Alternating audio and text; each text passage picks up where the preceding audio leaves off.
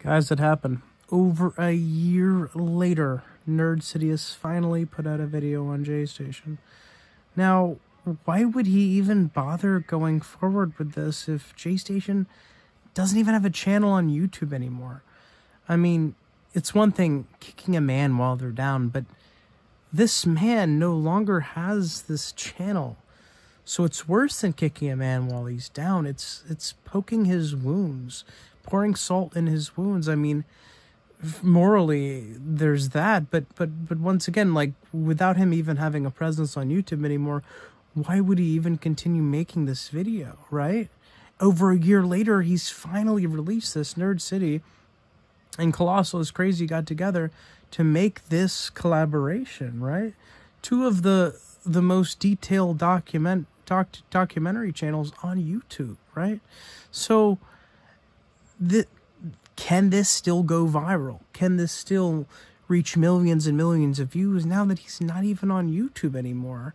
I mean, I don't think anyone should have their channel removed, possible punishments, but I never agreed with JayStation having his channels removed. I thought that was terribly rash. I thought it was not well thought out and a very short sighted decision by YouTube. However, you know, what can I do, right? What can you do? Nothing. This is YouTube's decision. And and Jason is a friend of mine. JayStation is a friend of mine. We talk.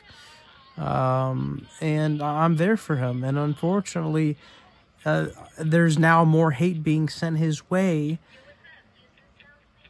even though this is old news, this is old drama. Why bring this up, Nerd City? Uh, but he's continued to do so after an entire year hiatus of not uploading at all. Nerd City just uploaded this video detailing, I guess, everything that he, that he sees wrong in JayStation, which once again is completely irrelevant because there's not even a channel of his on YouTube any longer, unfortunately. Uh, so I mean, just let let let us let a sleeping man lie, uh, if you know what I'm if you know what I'm trying to say. Let me know your thoughts on the matter down below. Uh, but either way, those are mine, and thank you for watching.